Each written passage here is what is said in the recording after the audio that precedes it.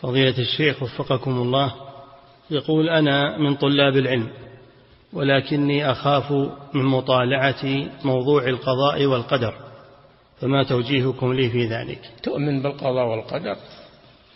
لا بد من الإيمان بالقضاء والقدر.